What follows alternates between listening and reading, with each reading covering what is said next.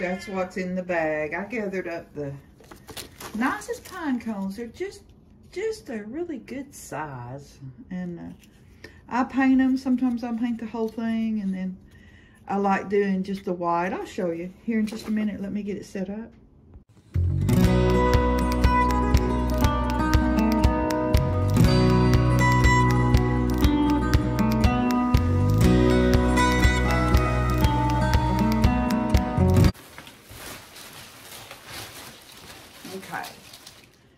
What was in the bag. I have some really, really nice pine cones that I collected um, last year and I haven't gone back over there. It's a great resource, this park that I go to. They don't mind. It helps them uh, when they get out there to clean. But what I do this year, I'm going to try and make my mantle with all natural elements. Now, I, I probably will put a string of lights up there because I like the, I like that look at nighttime. Look how little and perfect that is. I mean, it's just, it's perfect. But anyway, um, what I do is pretty simple. Um, I, I love glitter, but I don't like glitter all over my house. Once you bring glitter into your home, it seems like you can never get rid of it. Especially me, because I'm just a poor cleaner, even though I did it for a living. Uh, I'm going to use tempera paint today, just because I, I bought all of this, and I don't want it to get hard and go to waste. And these are not going to be out in the elements at all. Uh, they're just going to be up on my fireplace mantle or wherever I choose, you know, to, to decorate with this stuff. I am going to bring in some pine branches. Uh, and I've got a lot of holly. And I've got some cedar too. And we quit doing natural stuff years ago because my oldest son, his sinuses just could not take it. And we we figured out that uh, we weren't doing too good with it either. And now I've just about ruined all of my brushes. These are my oil painting brushes and I have done all kind of goofy stuff with them. I'm the kind of person that I, I'm like, I just rush in. I don't think the things through. Once I get an idea, I got to go with it. But anyway, what I like to do is uh, paint. I have painted them solid before, but I'm just going to tip these just like this. It's really easy. But the solid ones, when I had my antique booth, I could paint a basket of pretty, uh, you know, just get a little basket at like uh, the Goodwill, get them for under $2.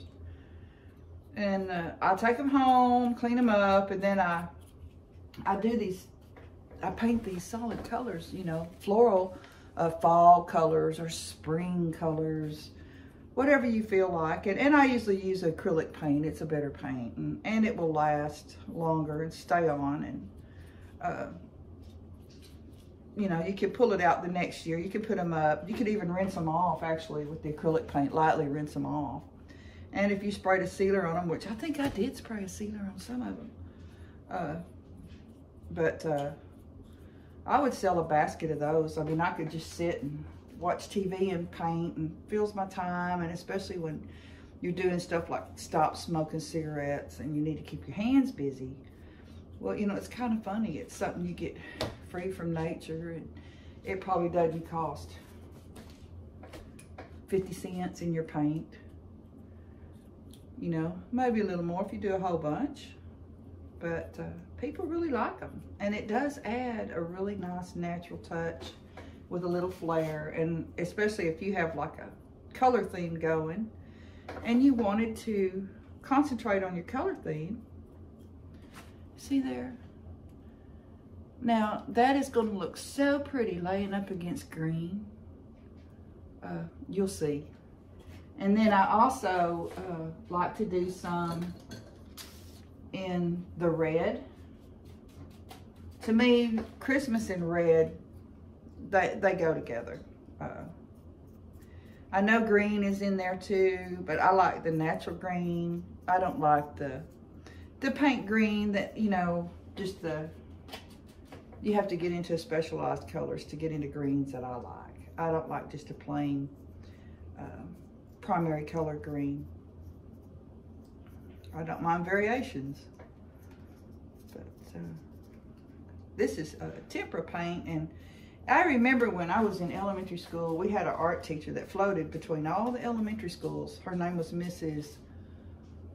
Halsey, I think, or that was the music teacher. I can't remember. I'm too old.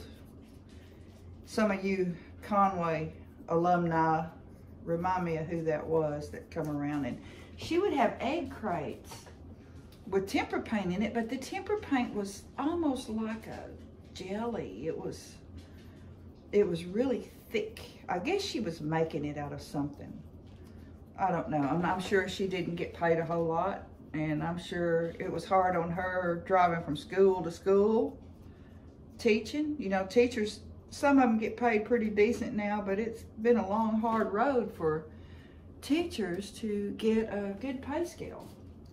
And, you know, these are the ones uh, influencing our young. They should be getting paid more than the stupid congressmen do. I'm telling you, then we might have some good teachers worth a flip that teach our kids something, and then we might have a lot of things corrected that are wrong in this country. But I digress.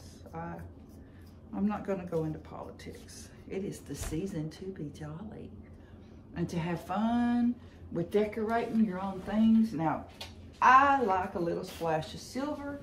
Uh, I just kind of uh, like a little bling. I know silver isn't really natural, but if you think about ice, uh, maybe ice freezing and the frosted look in the morning, you know, you could see some silver worked in there. At least in my mind, I could. But uh, every year I try to do something a little different with my mantle, and I've gotten really stale with it the last couple years. One year I just put up a little bitty tree that belonged to Kevin's mother. I didn't even feel like getting the big one down. And I've got grandbabies and they look for that tree. They have a big tree at their house and at their other grandma's house. And I have to have a tree here too.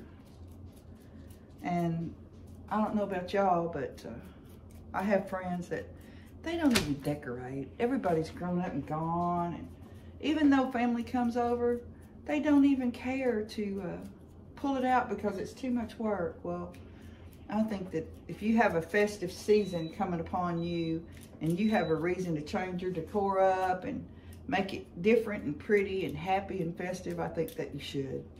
Even if it's just hanging a piece of mistletoe over the tree, over the door, you know, uh, with a little ribbon in it, something something. You know, some of y'all may not celebrate Christmas, celebrate it every day. I know a lot of religions do. And uh, some of us just like to have that special occasion to draw the family together and exchange gifts and have laughs and good food.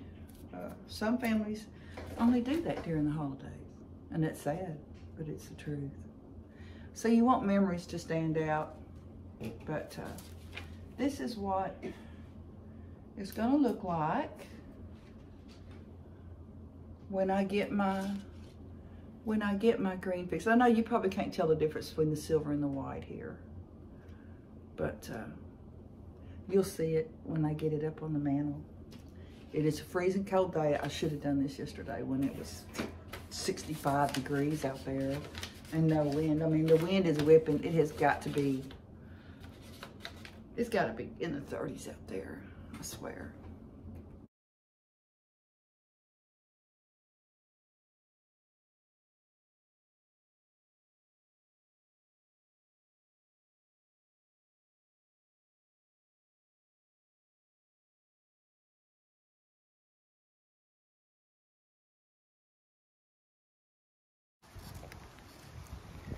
Y'all look at how pretty my holly and the berries are.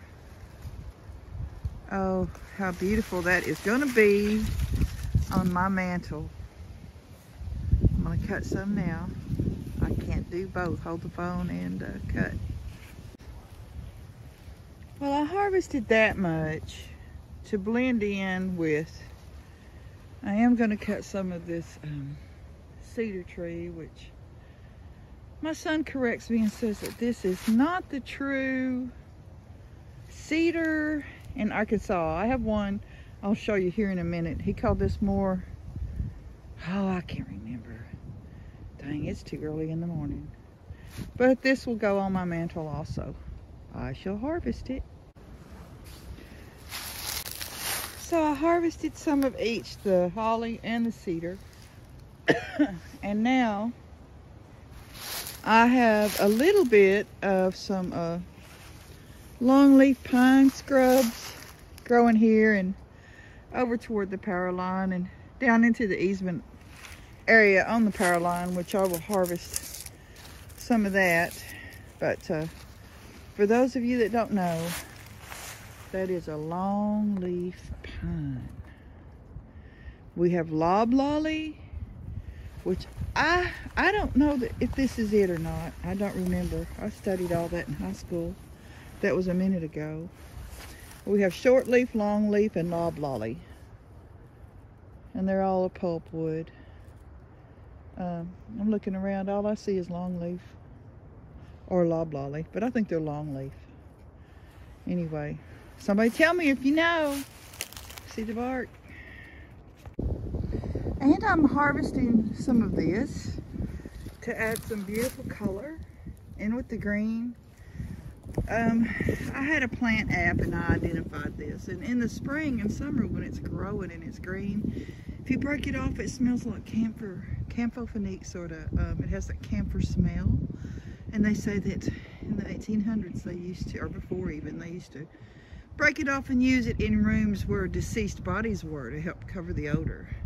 And this patch here has just grown here ever since I've lived here. And I see one or two patches up the road that, uh, if you know the name of it, pop it out to me because I just cannot remember. But I will take these and I'm going to spray these with hairspray just to try to keep them from uh, dropping their seeds inside because that's what that is. Okay, so I've gathered up things. I don't know if I've gathered enough, but we'll see. Um, I will take down the picture of my mother when she was a little girl. Don't know what was going on. My father, when he was 14, he had to take dance until he was 14. He come from a very artistic family.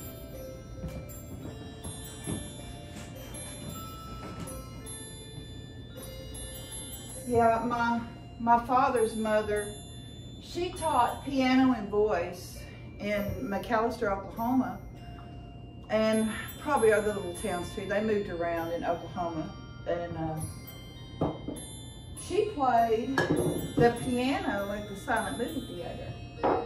She was really something, they say, and they say she had a voice like a nightingale. Well, my father did too.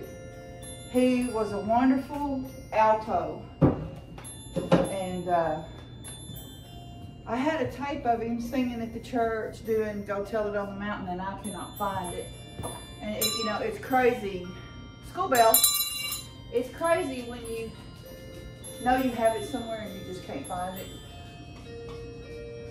And you miss it and you you find it six months later when you don't need it, but then by the time it comes back around to the holiday, you, you can't find it again.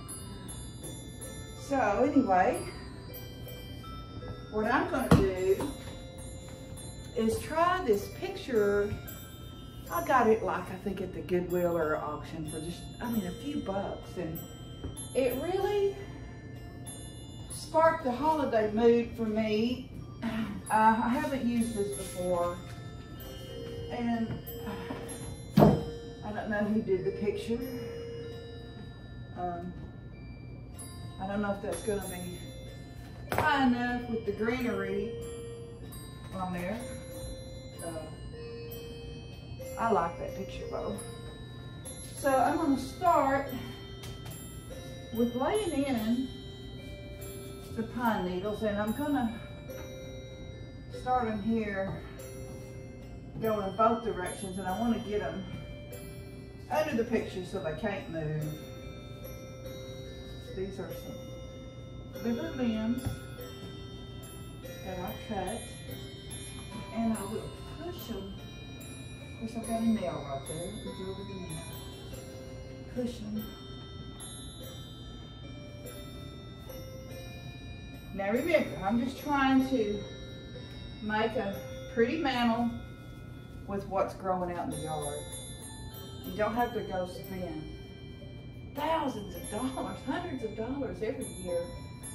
I have a friend that could really start a, a rehab for overspending for decor at the holiday, and she knows who she is.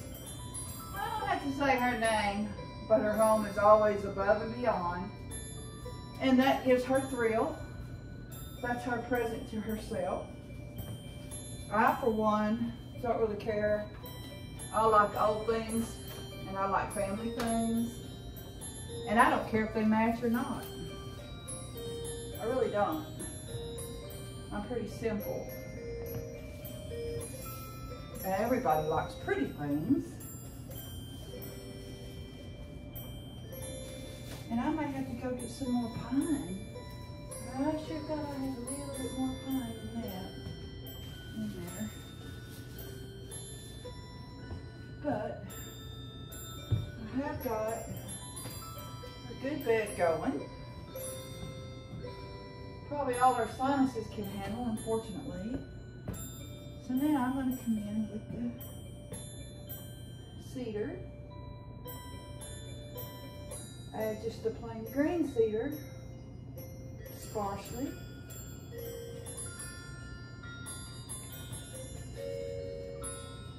Space them out. Are y'all enjoying my little Christmas chime playing? Uh, that was sold at Cracker Barrel in 1997.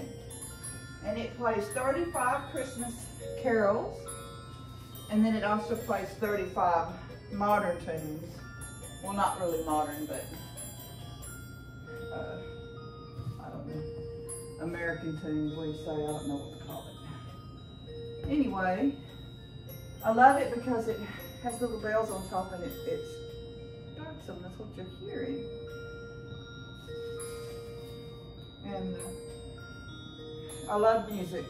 Uh, as I mentioned before, I was a mountain dulcimer player. Just good enough to get by, I guess you could say. And uh, I'm fixing to do a video with my teacher, who is a national champion. Wonderful.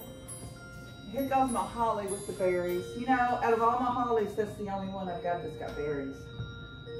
And I actually broke the top off of it when we cut down the gum tree.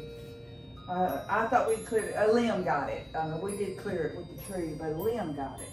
And uh, it survived. And I'm glad it did. Let me put some green here.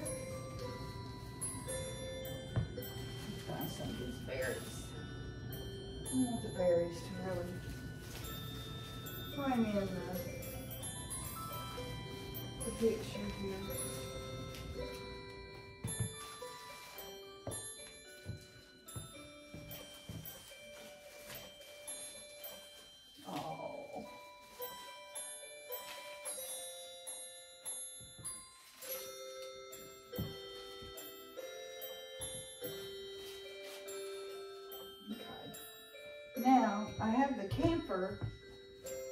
Or whatever you call it,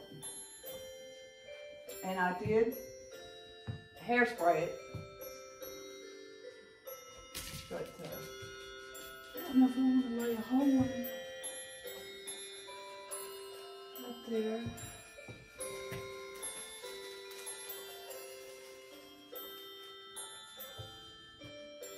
I don't know. What do you think?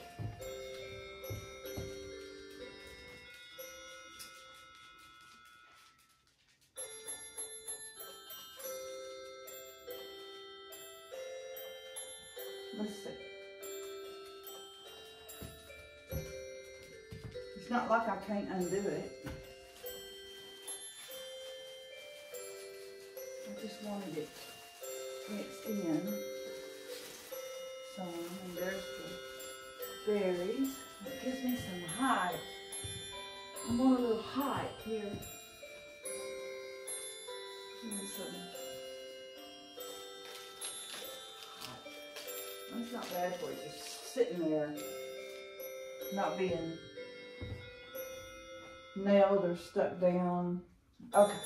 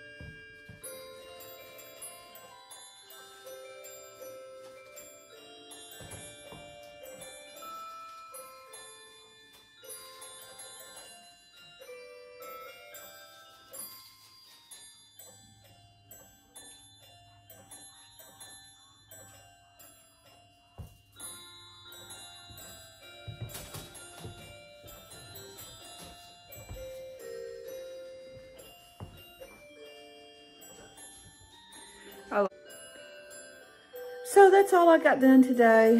We have to go up in the attic and pull down all of our decorations and it is a job because we have to use a folding ladder. We don't have a, a attic ladder. That's how I fell and hurt myself real bad. And so I'm always scared to do it. And we should have done it yesterday when it was in the 60s. We're going to be in coats up there in the attic. But uh, we'll follow along together and y'all share with me what you're doing to your fireplace mantle if you have one or your favorite place if you have a village or something to set up. Share it with us all. Tis the season.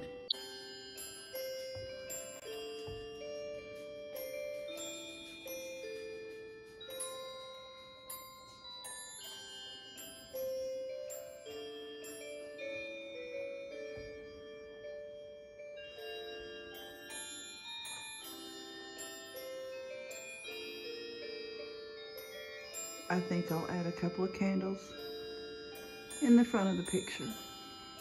Maybe three for the three wise men.